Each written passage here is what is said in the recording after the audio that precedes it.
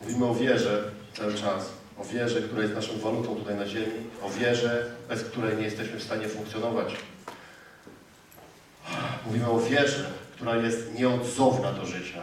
O wierze, o której powiedział Bóg w ten sposób, że ten, kto nie będzie mi wierzył, nie może mieć ze mną bliskie relacje. To On powiedział. On powiedział, tak, bez wiary nie można mi się podobać.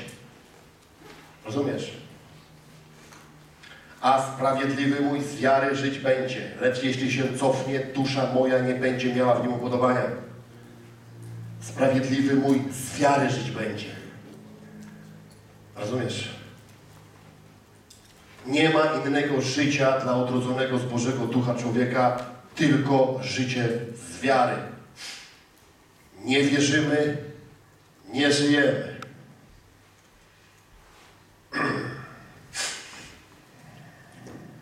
Przypowieści Salomona 20:15 mówią tak: klejnotem najcenniejszym są roztropne wargi. Klejnotem najcenniejszym.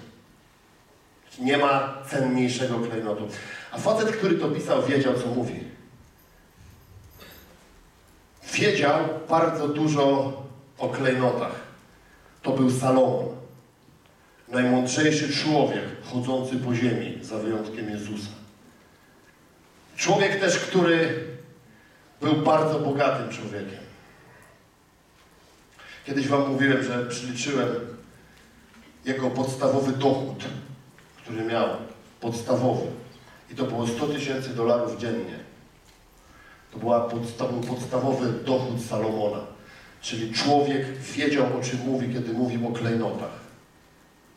On dobrze wiedział, to nie był dyletant. I powiedział, klejnotem najcenniejszym są roztropne wargi.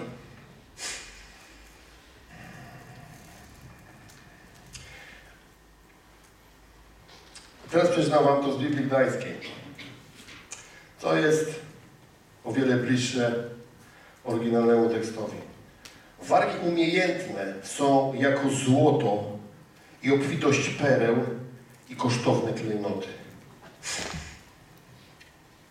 Tutaj słowo umiejętne, czy też roztropne, to jest takie hebrajskie słowo dat i mówiono o umiejętności posługiwania się. Ale bardzo ciekawym słowem są te wargi. Sefet. I słowo to ma dwa znaczenia. Po pierwsze jest to zniszczenie, a po drugie jest to wymiatanie. I te dwa słowa stanowią fundament hebrajskiego słowa wargi, czy też język, mowa, bo to jest jedno i to samo. Również ciekawe, używało się tego jako określenia brzegu lub granicy czegoś. Wiecie, o czym chcę dzisiaj mówić? Chcę mówić dzisiaj o języku, o mowie wiary, o tym, co jest mojemu sercu bardzo bliskie, o tym, co jest potężną bronią w moim życiu i winno być bronią w życiu każdego wierzącego człowieka. Nasze usta, nasz język. Ogóle wiecie, że jesteśmy jedynymi stworzeniami na Ziemi, które mówią. Zwierzęta nie mówią, rośliny nie mówią, przedmioty nie mówią, my mówimy. To jest bardzo ważne, że my mówimy, a jesteśmy na obraz kogo? Boga. Mówimy. Mamy też informację o tym, że Bóg Słowem stworzył świat. Czy też światy. Słowem.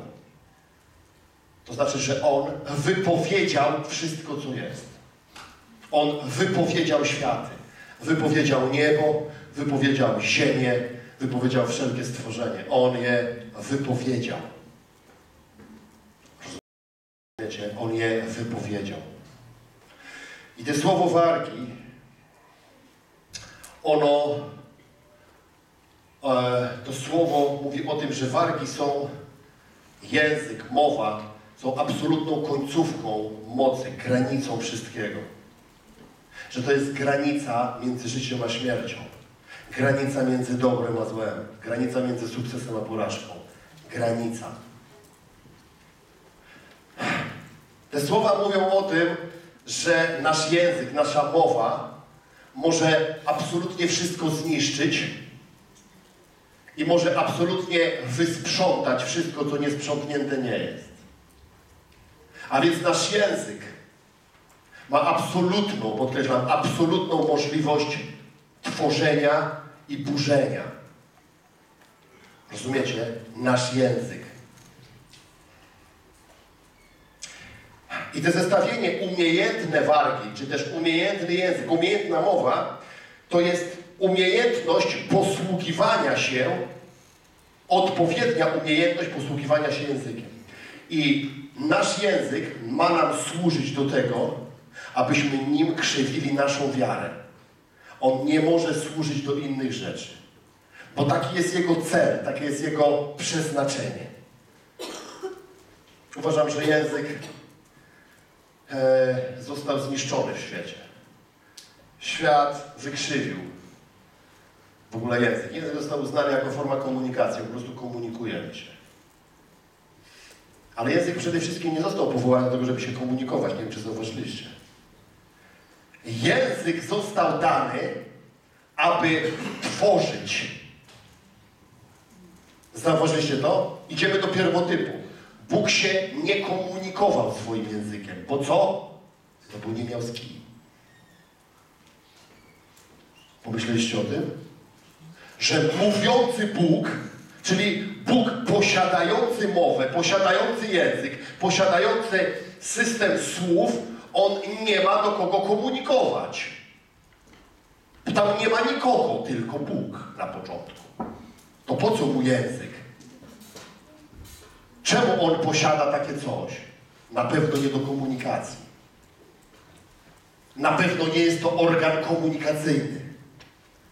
A więc po co Bóg mia, ma, miał i ma język? Po co? Żeby tworzyć. On tworzył słowem.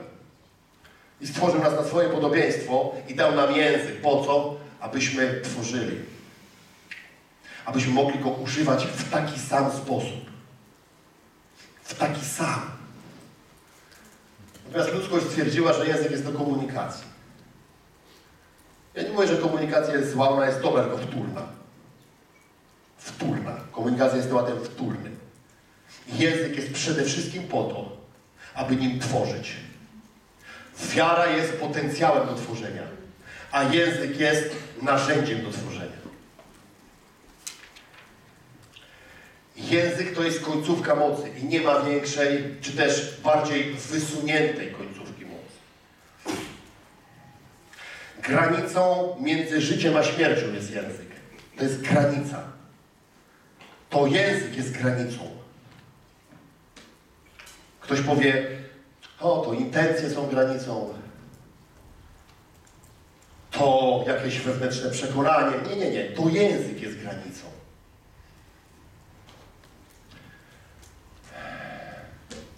Jak ktoś ma w sobie złe słowa, inaczej, jak ktoś ma w sobie złe myśli, ale ich nie wypowie, to wiecie, co mnie jego złe myśli obchodzą? Tyle, co zeszłoroczny śnieg. Czasami ktoś do mnie przychodzi i mówi, Arturze, chciałem Cię przeprosić. Ja mówię, za co? O Tobie źle myślałem. No wiem, no przestań. Większość ludzi o mnie źle myśli. Co mnie obchodzi, o mnie ktoś źle myśli? Co to mnie w ogóle interesuje? To mnie nie dotyka. Czemu mnie do, nie dotyka, że ktoś o mnie źle myśli? Bo on nie uwolnił mocy. On może sobie o mnie źle myśleć. On może mnie nie lubić, nie chcieć, może mnie zabić. Może chcieć mnie zabić. Ale on nie może zrobić nic, jeżeli on nie uruchomi systemu słów. Rozumiecie? Granicą między życiem a śmiercią jest język. Żydzi używali tego jako broń. Oni to rozumieli. Żydzi to bardzo dobrze rozumieli. Uważali, że za jego pomocą można niszczyć i oczyszczać. Dlatego jest takie hebrajskie słowo na język. Sebet. Niszczenie i oczyszczanie. Żydzi uważali, że językiem się niszczy i oczyszcza. Oni tak uważali.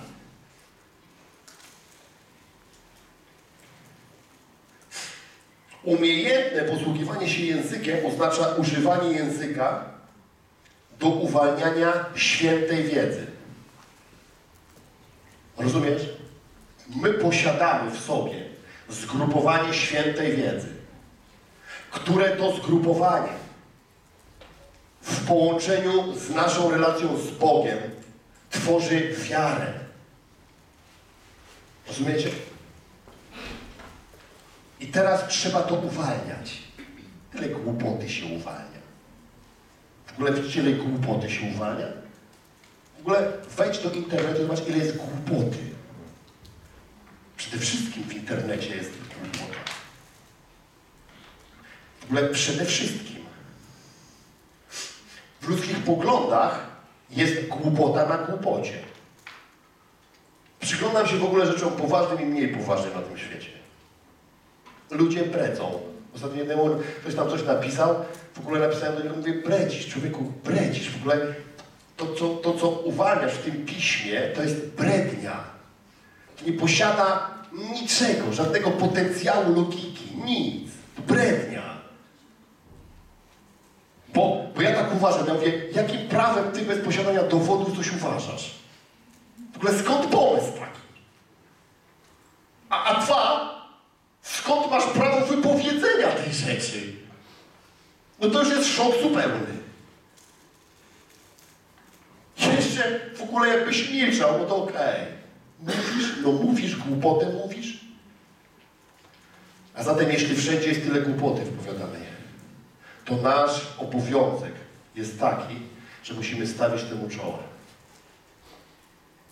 My musimy być ludźmi umiejętnych warg. Nasze języki muszą funkcjonować jako broń. Jako broń. List do Rzymian 10:10. 10. Sercem wierzy się ku usprawiedliwieniu, a ustami wyznaje się ku zbawieniu. Wiara jest pewnością tego, czego się spodziewamy i jest umiejscowiona wewnątrz człowieka. Ona jest wewnątrz człowieka. Wewnątrz.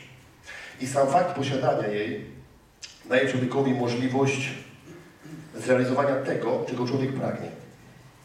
Jednak dopóki wiara nie zaczyna być wypowiadana, to jest ona jakby spowolniona albo ona ulatuje.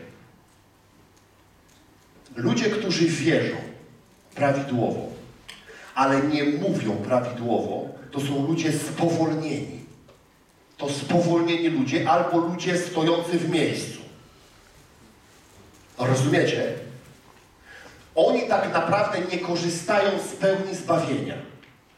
Bo językiem wyznaje się ku zbawieniu. Język służy ku temu, aby wprowadzić wiarę w czyn. Uwierzyłem, przeto powiedziałem, mówi apostoł. Uwierzyłem, przeto powiedziałem. Uwierzyłem, przeto powiedziałem.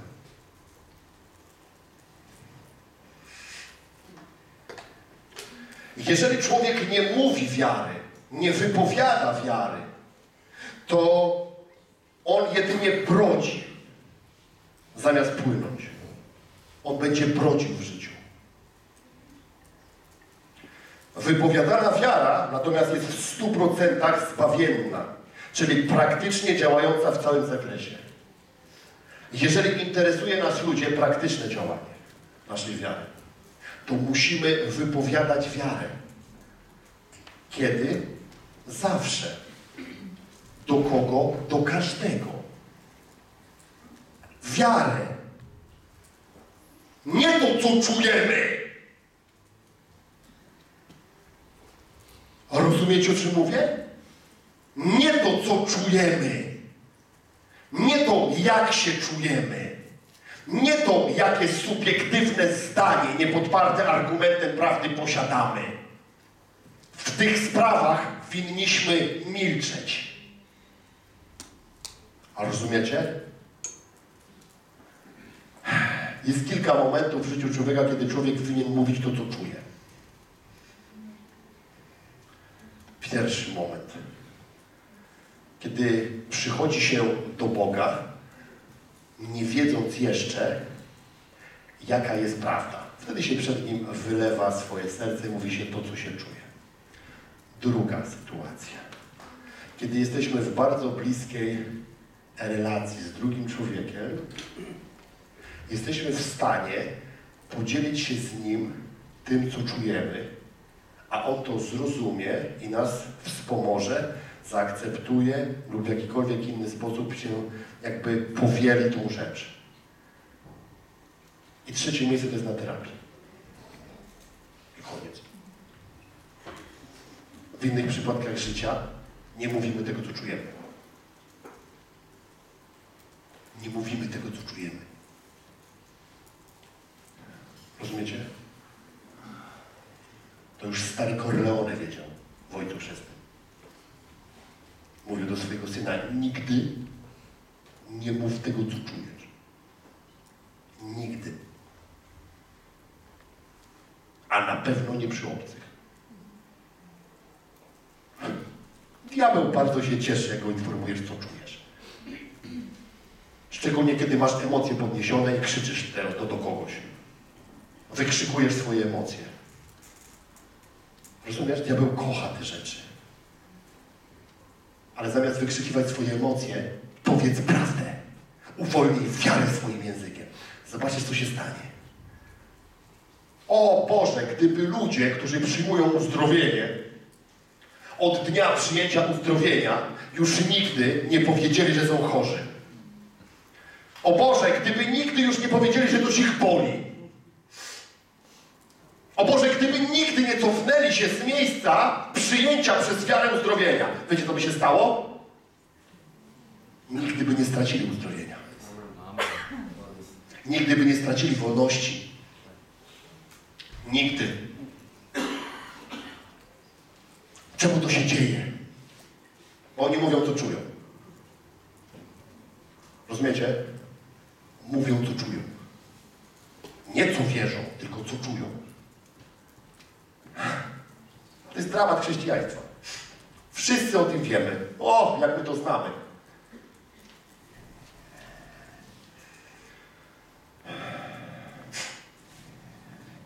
Mateusz 9, 21.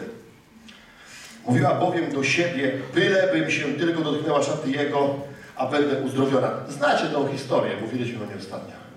Kobieta szukająca uzdrowienia wiedziała, że jest jakiś Jezus, który uzdrawia.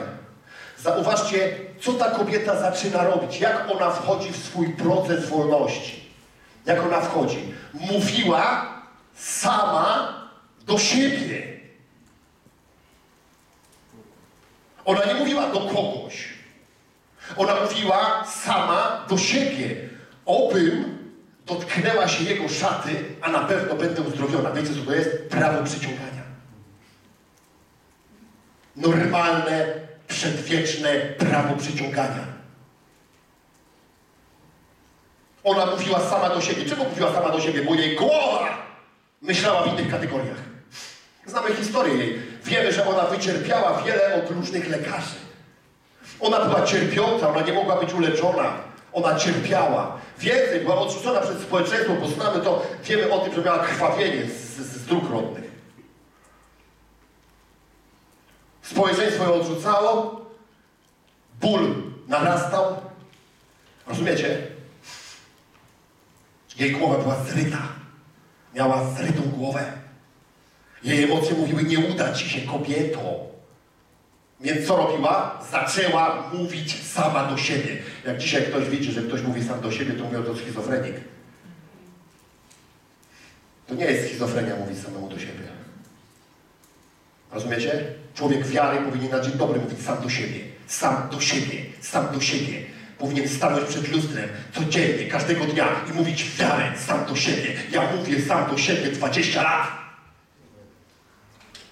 A w dokumentach ze szpitala psychiatrycznego mam napisane, że nawet nie mam osobowości nieprawidłowej. Jestem zdrowy na głowę. I mam na to papiery w domu. Rozumiecie? Neofita mam wpisane. Nawrócony. Tak mam wpisane. po paru miesiącach w szpitalu psychiatrycznym. Taką mam diagnozę.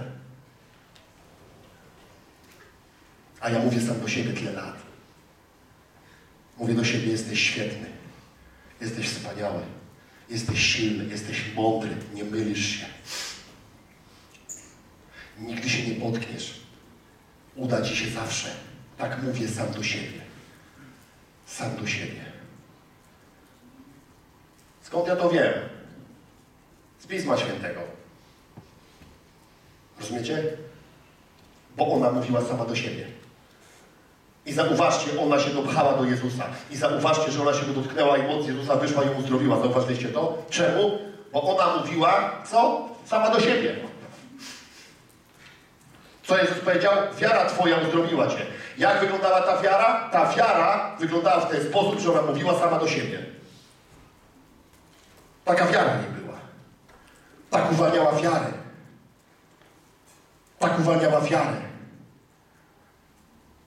Boże, gdyby ludzie, którzy mają problemy finansowe, zaczęli mówić w ogóle o pieniądzach. Gdyby mówili w ogóle to zrobię, to zrobię, tam to załatwię, to załatwię, tam załatwię, ten kontrakt załatwię, tamten załatwię. Zamiast chodzić się zastanawiać, co mam zrobić, co mam zrobić, nie wiem co mam zrobić, zabij się. Załatw sprawę.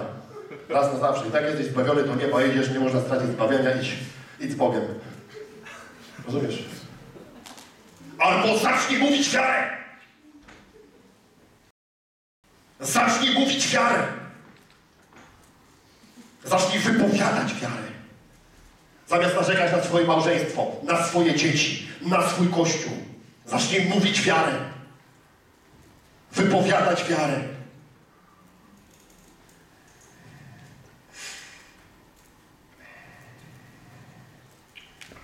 Ona wypowiadała pewność, którą posiadała w swoim sercu. Pewność trzeba wypowiadać. Czasami kogoś pytam, jesteś tego pewny? Jestem. Czemu nie mówisz tego? Czemu muszę cię za język ciągnąć? Czemu tego nie mówisz? Dlaczego nie mówisz, że jesteś pewny? Czemu tego nie piszesz na Facebooku? Czemu tego nie piszesz w SMS-ach? Czemu tego nie robisz? Czemu nie uwalniasz wiary przez swój język? Tylko uwalniasz co? Niepewność, niedowiarstwo, znaki zapytania. Jak będzie, jak będzie, jak będzie, jak będzie. Wiarę uwalniaj. Wiarę.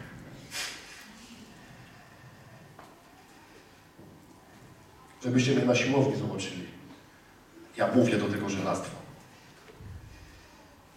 Ja do tego mówię. Zakładam coraz większe ciężary i do nich mówię. Ktoś powie, ty jesteś nienormalny. Możliwe. Może jestem nienormalny, ale działa to wszystko. Rozumiecie? Wiemy, że stało się tak, jak mówiła. Mamy dowód na to? Tak się stało tej kobiecie, jak mówiła. Jak mówiła.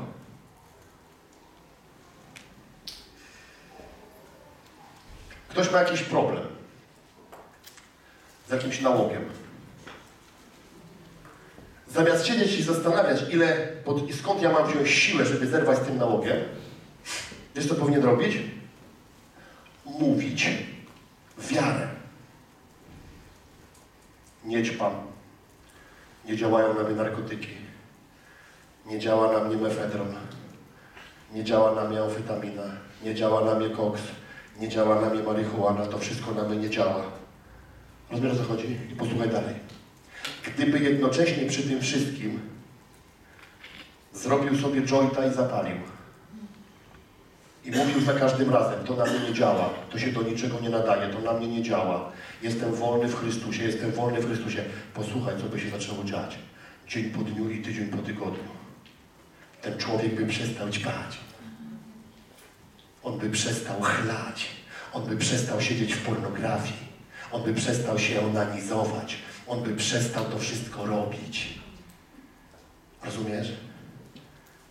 Gwarantuję, że jakby zaczął się onanizować przy filmie pornograficznym i by mówił w ogóle, tak, Duch Święty mieszka we mnie, nie interesuje mnie ten onanizm, nie interesują mnie te pornosy, to wszystko mnie nie interesuje, to by przestał mieć wzwód. Tak to by się skończyło. Ale tak nie robi! Tylko kmini w swojej głowie, co tu zrobić, żeby wierzyć. A potem pokutuje, ratunku, ratunku, ratunku. Panie pomóż! Duchu Święty wypełnij mnie! Dotknij mnie, Panie! A przecież ma usta.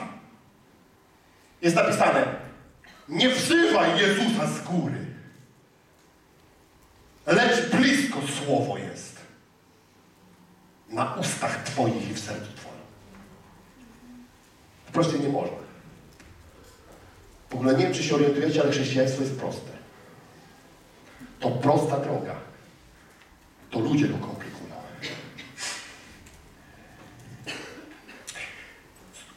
Słowa tej kobiety przecinały jej umysł jak żyletka.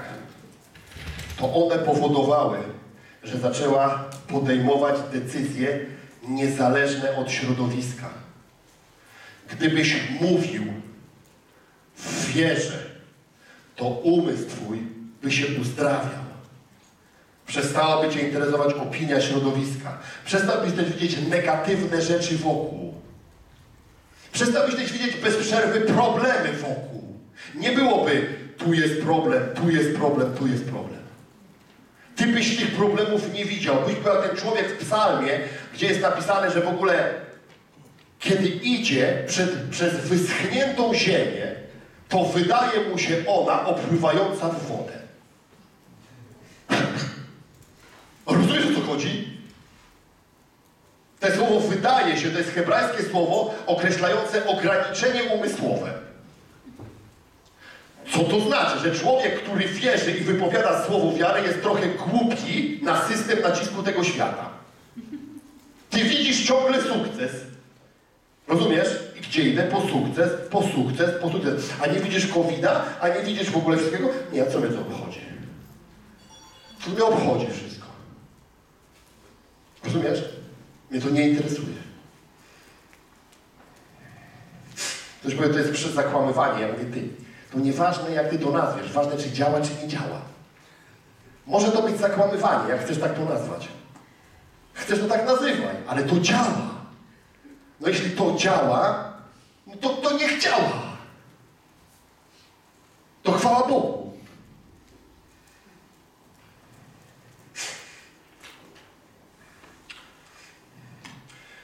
List Jakuba 3.2 mówi tak. Kto w mowie nie uchybia, ten jest mężem doskonałym.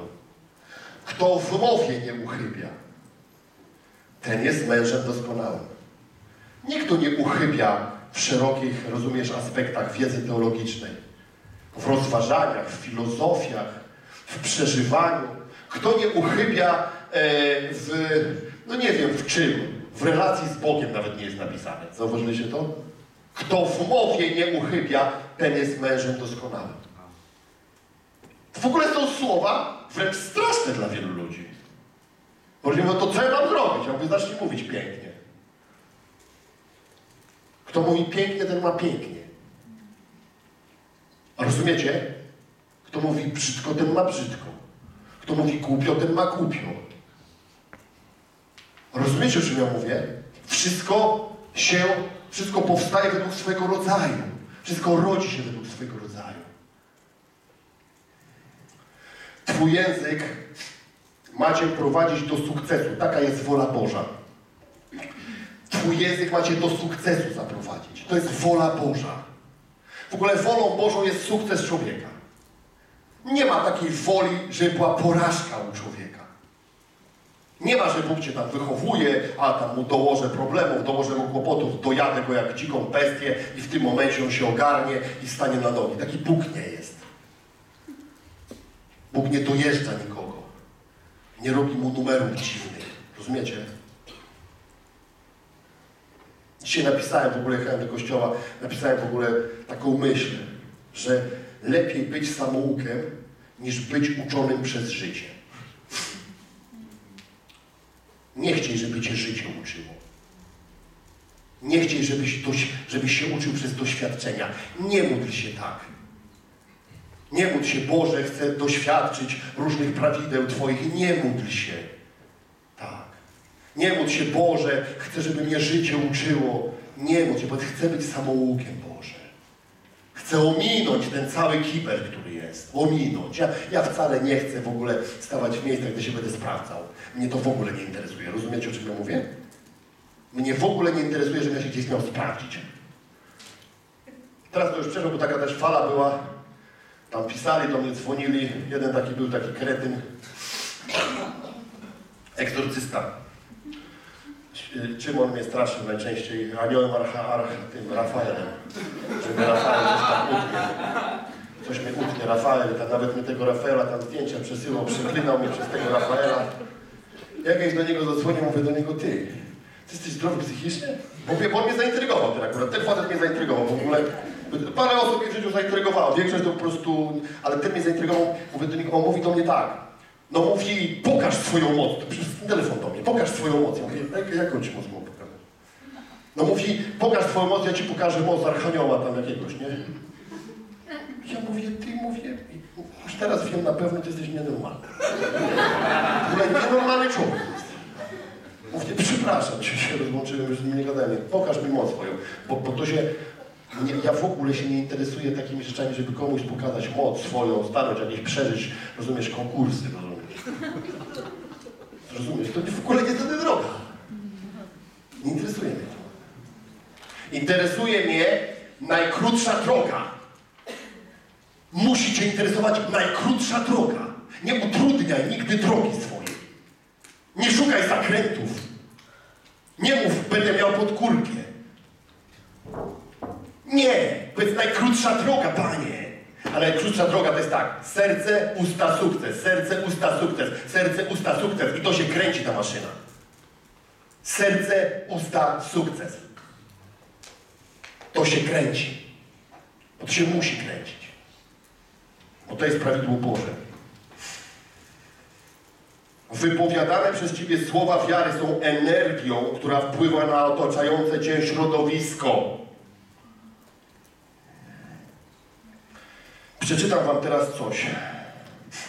Szukałem tego ostatnio, nie mogłem znaleźć i pomodliłem się, mówię, Boże, potrzebuję tego. Potrzebowałem oryginalnego wypisu z jednego fragmentu Księgi Izajasza. Wyobraźcie sobie, gdzieś jeszcze po prostu jakiś człowiek na świecie też wpadł na ten pomysł i wziął to, zrobił i tylko na swojej stronie zamieścił ten werset. I go znalazłem. I nie musiałem go w ogóle szukać. Wiedziałem, bo tak to bym sobie po prostu wypisał, bo, bo ja byłem po prostu teraz kilka dni dodany komorę miałem i było mnie tam w domu, a miałem wszystkie słowniki w domu, mówię, potrzebuję tego Boże. Księga Izajasza, 40 rozdział, 26 werset. Tak brzmi najbardziej zbliżony tekst do oryginału. Podnieście oczy ku górze i popatrzcie, kto stworzył te rzeczy. Ten, który ich zastęp wyprowadza według liczby, wszystkie je woła po imieniu. Dzięki obfitości dynamicznej energii, jako że jest również pełen wiedzy i świętej mocy. Ani jednej z nich nie brak. Taki tekst. To jest przeciwne słowo, niechciane przez chrześcijan. To jest greckie słowo onim. Przepraszam, hebrajskie słowo onim. Energia.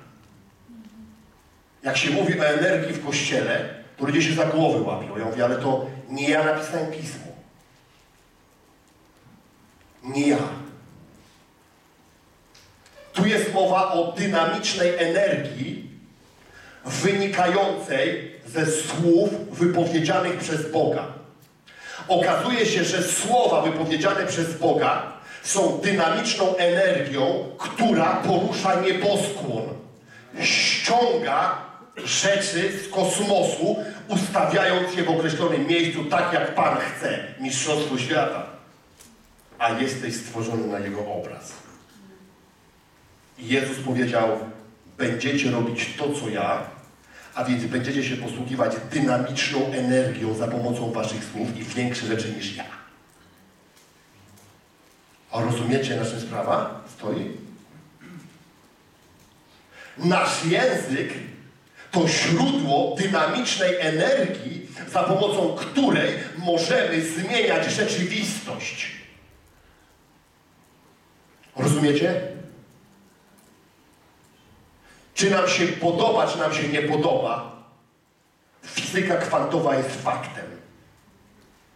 Czy nam się podoba, czy nam się nie podoba, to Bóg stworzył atomy. Czy nam się to podoba, czy nie podoba, czy jest to biblijne, czy nie biblijne, to Bóg stworzył atomy. To Bóg. Wszystko jest stworzone z atomów. To są struktury energetyczne, które porusza się zewnętrzną formą energii. Czy nam się to podoba, czy nam się to nie podoba. Już naukowcy robią dzisiaj doświadczenia z tym, jakiś czas temu Wam mówiłem, postawiony na uniwersytecie jakimś tam w Stanach, w ogóle jeden słoiczek z ryżem w jednym końcu sali, w jednej sali, a drugi słoiczek w drugiej sali. Wszystko ze świata ludzie. Jedna część studentów mówiła do tego słoiczka ryżu przez tydzień piękne słowa. Mówiła, jesteś wspaniały, cudowny, najsmaczniejszy, najlepszy. Druga część studentów przeklinała drugi słoiczek z ryżem. Mówiła, jesteś zerem, jesteś niczym i tak dalej. Po tygodniu jeden zgnił, a drugi nie. Co to jest? Nauka. Skąd ona się wzięła? Z nieba. Bo to Bóg stworzył atomy. I to Bóg stworzył energię, która się uwalnia przez słowa, aby tymi atomami można było sterować. On to zrobił. To jest Jego zamysł. I my jako ludzie wierzący nie możemy być arogantami na ten temat. Nie możemy sobie wyobrażać innej formy wpływu. Jak wpływamy? Słowem. Jest napisane, Jezus demony wypędzał słowem. Ktoś mówi, no tak, on mówi do demonów, wyjdź w moim imieniu. W ogóle to jest nieprawda. Że on takie rzeczy tylko mówił. Ja ostatnio komuś tłumaczyłem, jak ja w ogóle rozmawiam w ogóle na przykład z diabłem. Przychodzi diabeł, ja mówię, wąt. Ja nie mówię w imieniu Jezusa, odejdź precz. Ja nie cytuję mu Biblii. Nie chce mi się. Rozumiesz? Przychodzi do mnie diabeł, ja mówię, jesteś śmieciem. To jest moja, to jest moja rozmowa. Won. A rozumiesz, o czym ja mówię?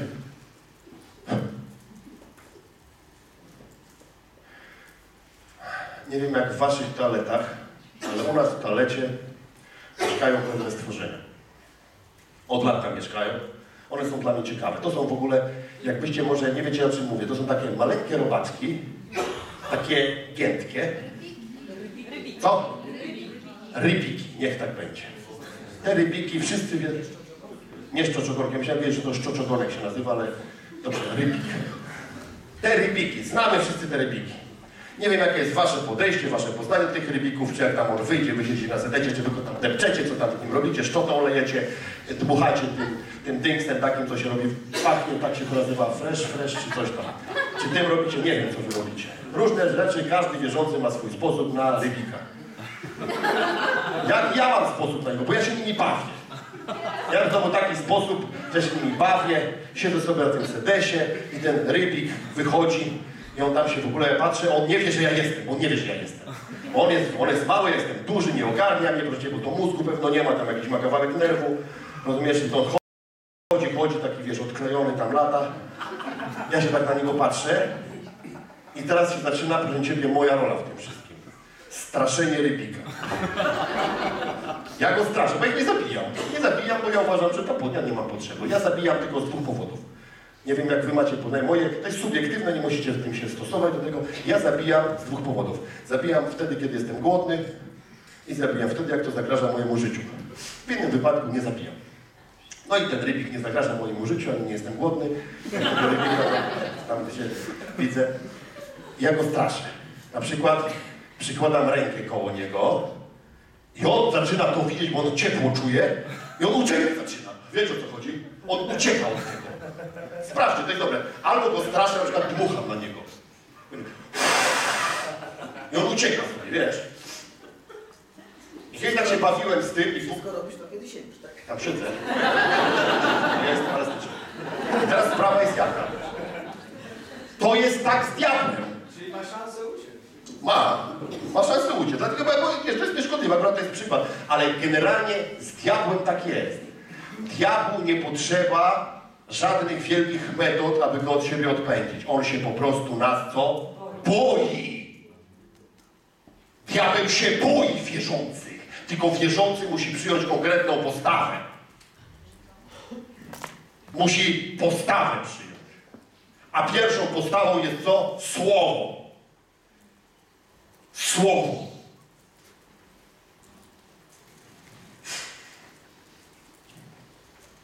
Energia to przekaźnik informacji do materii. Posłuchajcie, to jest bardzo ważne. Energia to jest przekaźnik informacji do materii. Atomy są materią. Słowa są energią. Kiedy my wypowiadamy słowo do materii, która nas otacza, to materia musi się co nas? Słuchać. Musi się nas słuchać, bo kiedy wierzący człowiek wypowiada słowo, to tak jakby sam Bóg wypowiedział słowo. A kim jest Bóg? Twórcą materii. To twórca materii. Kiedy materia zderza się ze słowem wiary, rozumiecie? To się słucha. I układa się w takie coś, jak słowo wiary jest jakby uwolnione. W ten sam kształt się układa. W ten sam kształt. Rozumiesz? W ten sam kształt. Zamiast narzekać, że się nie ma pieniędzy, to się kładzie portfel i się mówi do portfela. Nie masz co robić w domu? Porobiłeś już wszystko w temacie pieniędzy. Wszystko. Nie masz co robić. Tak siedzisz, co dzisiaj zrobić? Może jeszcze bym gdzieś zadzwonił, nie mam gdzie zadzwonić, mi się umówić, nie mam z kim się umówić. Modliłem się, wszystko wymodliłem, co mam robić? Kładź portfel, mów. Numer konta sobie wybierz, proszę Ciebie, mów. Mów. Co Ty masz do roboty? Mów. Uwalniaj energię. W co? W materię. Zrób to, co powiedział Bóg. Dynamiczną energię. Dynamiczną energię. Uwalniaj.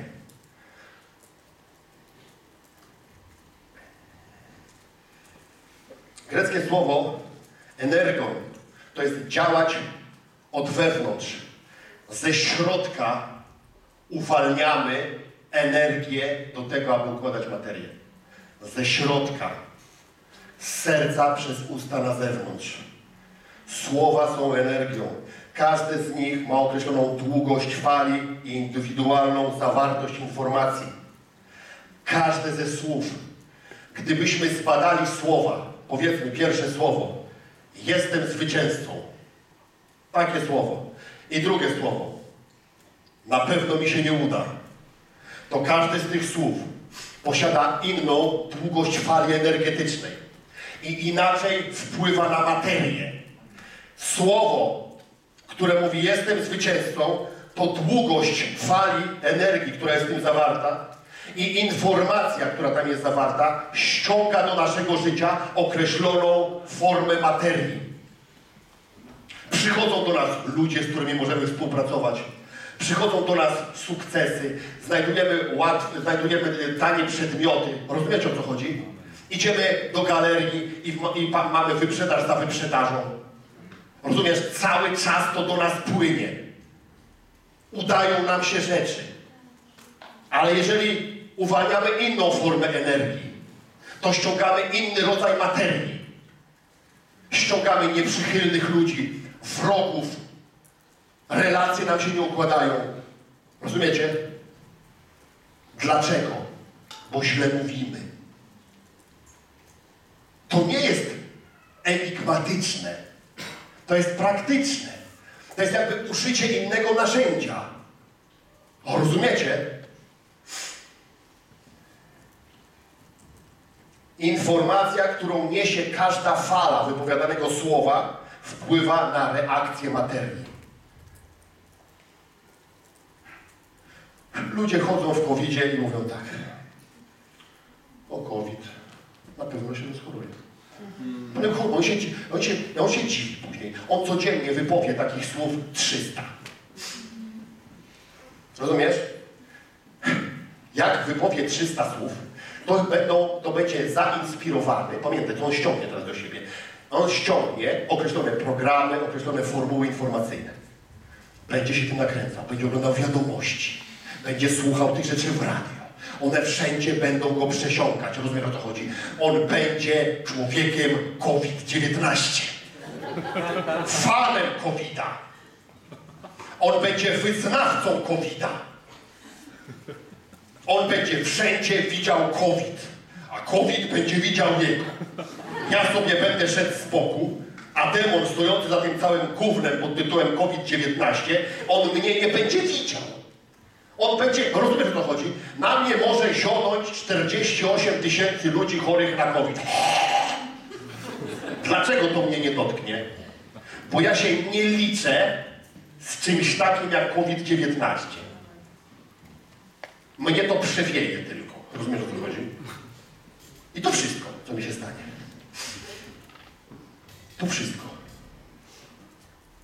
Jestem niewidzialny dla tej formuły materii. Ta materia mnie nie, ona mnie nie ogarnia. Nie ogarnia mnie bieda, nie ogarnia mnie taka rzecz, taka rzecz, taka rzecz, bo ja tej rzeczy nie wypowiadam. Ja nie używam narzędzia do ściągnięcia tej materii. Rozumiesz? To jest bardzo ważne. Słowa to fale niosące określone informacje do materii. Słowa to fale. Nie ma, że coś powiem, dlatego jest napisane z każdego nieużytecznego. Oryginał mówi źle użytego słowa zdacie sprawę przed Bogiem.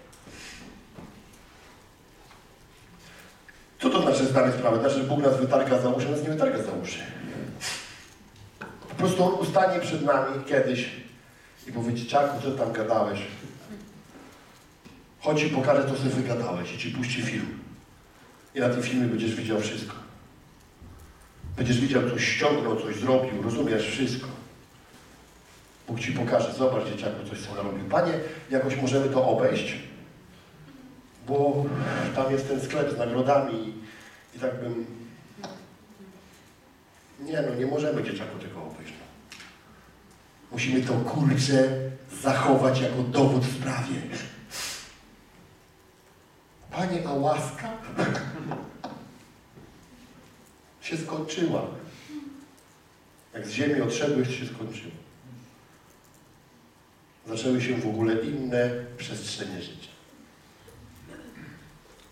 Teraz mamy materiał dowodowy. Wykorzystania łaski. Czy wiecie, że od 20 lat nie wypowiedziałem wulgarnego słowa? 20 lat. 20 lat.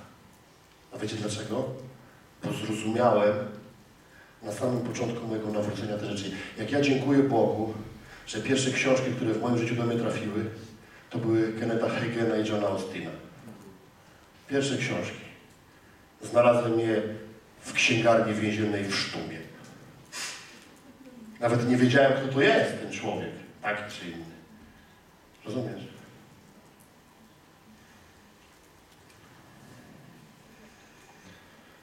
To za pomocą słów tworzysz lub burzysz, budujesz lub rujnujesz. Za pomocą słów.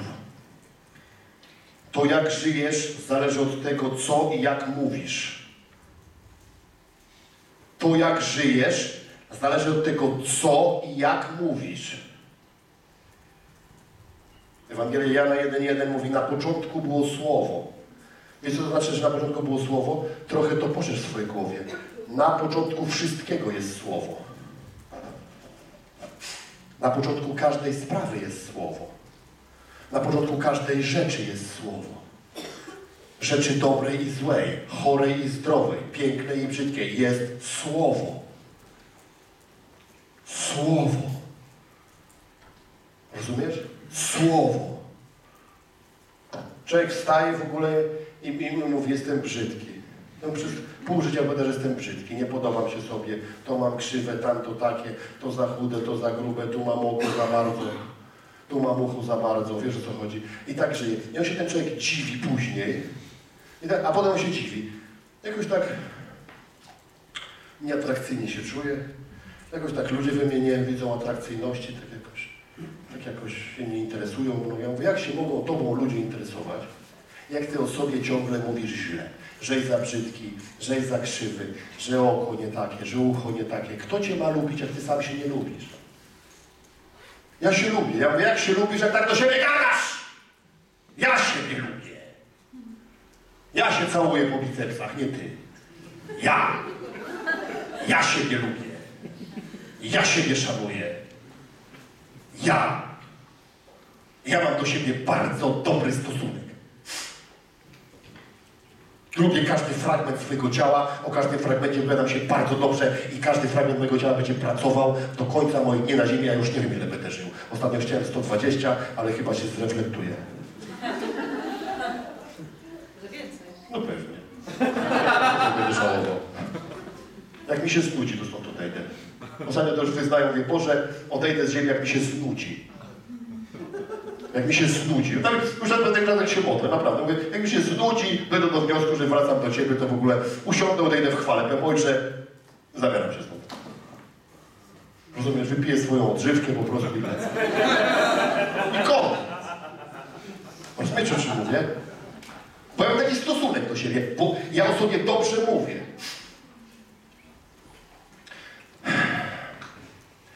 Dlaczego tak ekstremalnie Wam te rzeczy chcę pokazywać? Ja nie chcę dzisiaj zakończyć o tym języku, bo ja chcę o nim jeszcze uczyć. Bo musimy się z tym przebić. My musimy być ludźmi, którzy mówią, jak mówi Bóg. Jeśli napisane jest napisane, kto mówi, niech mówi, jak mówi Bóg. A jak mówi Bóg? Mówi w kompleksach, w poniżeniu. Tak mówi Bóg? W niepewności, w chaosie, w zamęcie, w religii. Tak mówi Bóg? Plucka Bóg? Zachowuje się skandalicznie w swoich słowach Bóg? Nie? To do roboty nasz język. Bardzo bym chciał, żebyście zaczęli w swoich komorach przynosić swój język Bogu. Bardzo bym chciał, żebyście w swoich komorach zrobili robotę ze swoim językiem. Nie byle jaką. Przyjdźcie i powiedzcie, Boże, jestem nawrócony tyle i tyle, ale kurczę, nie doprowadziłem swojego języka do porządku. Dalej w ogóle miele jak nie trzeba. Dalej go używam w niepotrzebny sposób, zły. Rozumiesz? Dalej wypowiadam słowa niewiary.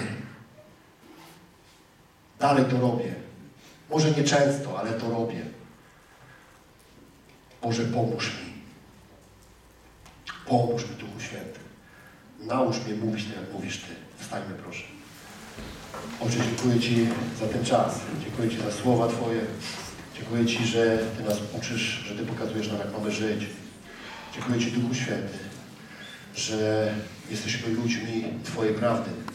I to, co dzisiaj przyjmujemy, Ojcze, to wyda stukrotny plon w nas. Ojcze, będziemy pracować w wierze nad tym. Ojcze, nie zaniedbamy tego.